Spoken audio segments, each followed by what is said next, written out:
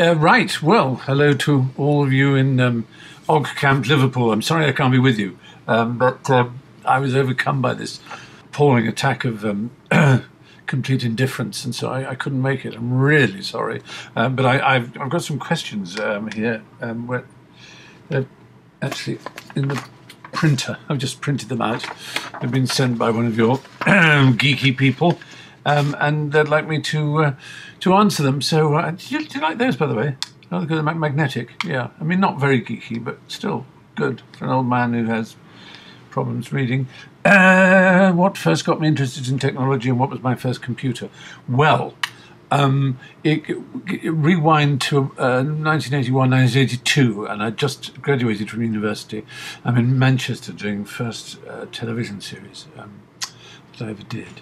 And, and I go into a Lasky's uh, department store chain, now closed, sadly. I think they're still online, possibly, that specialised in electronics. And I saw a cluster of kids all around a, Sinclair ZX. And, uh, and I thought, I better catch this train or I'll, I'll never, ever, I'll never get, I'll never get there. You know, it's, it's now or never. I, I, had this idea. There was this phrase, computer literacy, if you remember. Well, you're all probably too young to remember, but the whole idea was you had to be computer literate.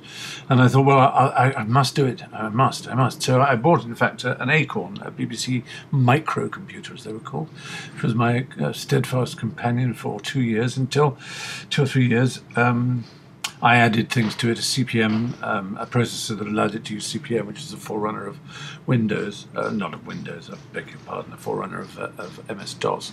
And um, then uh, in January 1984, um, my friend Douglas Adams, Douglas Adams and I queued up and bought the very first Apple Macintosh to be sold in, in Europe, in fact. Uh, Adam, Adams got the first, Fry got the second which is just as it should have been. And, and I was kind of hooked, really. Uh, what's the next question? Have, have, have, I ever done any computer programming? If so, in what language or platforms did you enjoy, enjoy the experience? Well, well, I, I, I learned BBC Basic and um, Pascal and a bit of Logo, which is very childish but um, useful uh, language. Uh, but I never really got into the C++ or anything like that. To be perfectly simple just because my, my arithmetic wasn't good enough. I just I couldn't I couldn't see when I needed to use a modulus and know why the this you, you just have to have the maths and I didn't. So uh, I was okay at doing pretty basic things and I enjoyed it, but but I couldn't have done anything major. Um, but I enjoyed it. God, I enjoyed it. Oh, I showed off to my friends. I said, look, what I can do and get my program to do this. And I built, I remember I, I built for ages a, a, very basic sort of Liza engine. Liza was is a sort of a intelligent database that you ask ah, questions. An email. Oh dear, that's my phone saying I've got an email. Um, I'll turn that off sound-wise. Um, and, and, and, interestingly, this is my uh, iPhone. Can you see that it's been pimped? It's been pimped in Norwich City colours. Isn't that cool? Did you ever see anything cooler in all your life? No, you bloody didn't. Um, anyway, um, sorry, pathetic, aren't I? Um, what was that question? Uh, um, did I ever use Linux on any of my devices? Uh, obvious question. Yes, indeed, absolutely. I, I try to keep um, use Ubuntu these days. Um, it seems the friendliest. You know, again, I, you know, I, the Unix command line or, or any command line is not uh, is not my favourite place to be. I, I, just, you know, get the backslashes and the forward slashes wrong, and I the wrong space and the debugging. So I just don't have the patience, to be perfectly honest. When you get to my age, really just don't. Because you know, in the old days, when I was younger, you know, you get up to three, four, five in the morning. I'm sure you've all done it, where you just type away, type away, and you check through, and it's the, the excitement of getting a, you know, um, little parameters right and so on, little calling to some procedure and uh, building up little modules of procedures that you can then use in different programs. It's a very, it's a very thrilling thing to do coding. But um, Linux is uh, is great. I mean, I think. Um, naturally, it's been incredibly slow. The whole GNU and, and, and Linux experiment has been has been very slow because because it's relied on people's spare time and uh, without being an absolute um, red in tooth and claw capitalist, one can understand that the the lure of uh, of, of, instant cash, um, um, of money, of, of, of, huge salaries and vast um, you know share um, uh, share price inflation uh, is is something that will keep people uh, concentrated with their eyes on the prize. Whereas if you're asking gifted amateurs, not amateurs, but gifted. Um, what's the word? Philanthropists, I suppose, to, to create a, a, an open source system like like like Linux, um, then you can't expect it, I suppose, to develop and, and come up with new versions as, as often as it has. But uh, I love it, yeah. And the great thing is you can run it on any platform, so you you know you don't need you can run it on a uh, a Mac or a PC platform very easily these days. Would I describe myself as a hacker in the proper sense of the word, someone who creatively uses technology in everyday life? Um, no, I think power user is probably a better description than hacker to be perfectly honest. I, I, like to get in there and get my elbows up, and certainly um, compared to all my friends, I considered a hacker. Whenever my friends have any problem with their computers, either Macs or PCs, I, I usually am the one who's called to, to help them out. It's amazing, as you know, how dumb some people are. Um, but uh, um, compared to you, I'm very dumb. I'm known as a fan of Apple. Their devices are undoubtedly shiny, but perhaps also the most locked down and restricted on the market. Does that worry me at all? Yes, it does worry me. I'll be perfectly honest with you. Um, um, this whole, yes, you know, the walled garden uh, and so on, we talk about it a lot. Well, there's just two things I'd say there. One is imagine the whole ecosystem. In fact, if it, if it even would exist, uh, had Apple not come up with the iPhone and then with third-party apps and then an app store. Um, uh, imagine how that ecosystem would be if there weren't tightly sealed up APIs for the keyboard and for various other features, hardware and indeed software features of, of the of the operating system. Uh, it would be a bloody mess of of of, of, of just badly written, um, uh, destructive uh, apps and indeed malware of all kinds, uh, as we're beginning to see more and more in, in Android. Um, and I, I, don't think there's anything wrong with a company that makes its own hardware as well as its own software, which is quite rare. Um, to to want to have an absolute guarantee that the, the, the devices they make, whether they're pods or pads or um, phones or, or uh, iMacs or uh, MacBook Pros or whatever they might be, that they work across across the whole product line uh, seamlessly. And and and I think, of course, as the cloud increases, that that that become less less an issue for other manufacturers. Um, but I think it, it, it, it it's their right, and it's our right not to buy it if we don't like it. Um, after all, it's not that long ago that they were they were a busted flush, and everybody said the company wouldn't exist anymore. But I do worry. I do worry that sometimes they're a bit tyrannical and a bit silly, and um, they should just loosen up in some areas.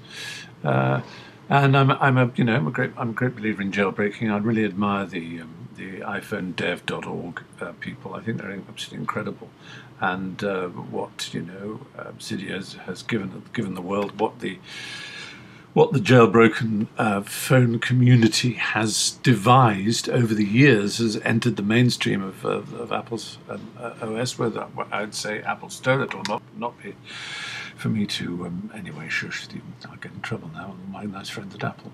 Politics, why do I feel compelled to get involved in such cases There's a Twitter joke trial or the recent case of litigation against the Hobbit pub. Well, it just, I mean, there are, sometimes one can make a difference, I think. I happened to be in the Hobbit film, and, uh, and I just thought, well, you know, this is silly. You know, the, the brutal assertion of copyright is one of the stupidest things that's happening in the world, and I've been very outspoken against it. Um, I have observed that throughout history, most creative periods in, in, in, in culture have always been when there has been a, a kind of loose-ish hold on copyright. Not no copyright, but not stranglehold. It's a bit like a bird. If you if you hold, it too too loosely, it'll fly away. If you hold it too firmly, you'll strangle it. And I think it's the same with creativity. Um, and I think music companies and film companies and um, just as sponsors at the Olympic Games can make fools of themselves and, and actually do all undo all the work that their branding is supposed to be supposed to be favouring them with. They can undo it all by being stupid, by having lawyers who just see something and you know Lucasfilms or whatever will see some artist in Devon has got a little display of watercolours they've done of scenes on the ice planet Hoth, and then they get a cease and desist letter letter from uh, Marin County, San, San Francisco, from George Lucas's lawyers, saying they'll be sued. I mean, you just think, come on, you idiot! You just make people think as if people don't hate you enough for the for the last three films you made. Um, uh, he's got to do that. It's such a pity. It's just a bit of common sense, a bit of a bit of getting your ear to the ground and realizing that there are the times when it's appropriate to act on behalf of your, um, you know, the work you've done and the innovations you've made, and there are times when sharing is the best thing to do. Um, and when it comes to the Twitter joke trial, again, it's you'll be amazed at the ignorance of lawyers and um, and our ruling political classes when it comes to social um, networks and um, and the whole the whole nature of it all. And after the Spartacus moment, in which everybody tweeted the identical tweet, the identical threat to Robin Hood Airport that Paul Chambers made, um, it was obvious that the law had been made a fool of.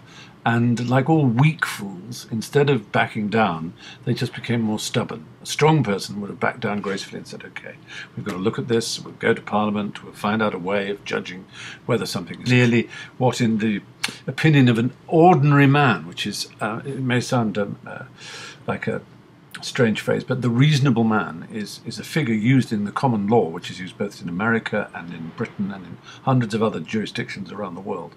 The, the reason, would a reasonable man think that that tweet was a threat? And the answer is so obviously no. And uh, it's just just drives me insane when and the man lost his job, you know, and he lost money, and he's got a political, he's got a, um, a conviction. Uh, you know, it's all just so damn stupid. But I'm I'm speaking before the judgment, final judgment comes out. So I'm very hopeful that Lord Chief Justice will actually see sense. Bloody hope so. Come on, get through these. Um, do I see the future of the web as a tiered society with subnet, subnets being used to subvert government control and monitoring, or as it, as it was intended, an open expanse for users to explore? Well, it wasn't intended as an open expanse for users to explore, to be honest. The net just grew organically, as you know, from DARPA and other such things. But um, it, there's, there's, a kind of irony in the fact that in the mid 90s, um, uh, AOL and CompuServe and things like that were were the place to be, and they'd sort of the web once Tim Berners Lee and and the World Wide Web came out, then the net suddenly became a really rich environment, and so. AOL, which was a you know a private, uh, as it were, a, a consumer um, uh, closed that we call it, a closed forum, you know, uh, um, an online community, um, uh, offered an internet ramp so that you could dial up your your your AOL number, and then not just be inside the AOL program, you know, the client program on your on your Mac or PC, but you would also be able to get through to the, the internet proper. And then AOL was everywhere; it was huge. And if you if Steve Case, who founded it, had um, not been so busy counting his money and had just looked up and sniffed the wind, he would have seen that essentially he would have migrated AOL into Facebook. Because, you know, every poster in the 19, mid 1990s would have keyword, AOL keyword, this film, or, you know, or AOL keyword, Marmite or something. Um, and and uh, now it just has uh, the Facebook equivalent and and, and, and Facebook is really just AOL, but but um, uh, brushed up uh, for for the modern user generated content world, for the you know Web 2.2, 2.0, whatever you want to call it. Um, so that's uh, that's interesting question ish. Uh, I supported Document Freedom Days, stood up for open standards. Why do they matter to me? Well, common sense again, you know. I mean, things like uh, Firewire or I, iLink, as Sony called it, or IEEE 3459 or whatever it was originally called. These standards uh, are often developed in the private sector. Um, sometimes, like Vog Orbis, Ogg Vorbis, I should say, Og, Og, Og, Ogg Vorbis. Um, uh, they take a bit of time to trickle down. The average man in the street hasn't heard of Ogg Vorbis, but they will have benefited from some of the developments that have gone into it. And uh, I think that's always the case. But it's very important that the standards are open, and uh, I think HTML5 will be a giant leap forward, uh, and uh, we can say goodbye to Silverlight and QuickTime and uh, Flash and uh, Real Player and, and, so on, or at least more or less goodbye to them. Um, which is not to say they haven't served their turn very well indeed, and they've they've all come up with their own sort of innovations. Um, but HTML5 will when it finally, finally gets goes through all its committee stages, will, will I think uh, change change the environment enormously. Uh, yeah. So part three, random silliness. Uh, if I could be a dinosaur, what would you be? Archaeopteryx. Oh, definitely an Archaeopteryx.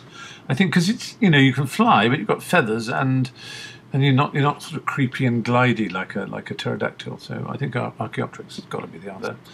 You ever been to the North Pole? Did I meet Santa? Oh dear, no. The furthest north I've ever been is um, uh, Barrow, Alaska, which is the northernmost part of the United States of America. It's in, in, in the Arctic Circle. And it was, I can tell you, um, it was very cold, actually. Yeah. Um, otherwise, no, no, never met Santa, at least I don't think so. Not to my knowledge. Um, um uh, that's it. Those are all the questions. Well, there you are. Sorry I was such a blathering um, idiot. Um, the time is already, good heavens, and I'm good gracious. So uh, enjoy everything, and I really, really wish I was there. and I just have a fantastic time. Lots of love. Bye.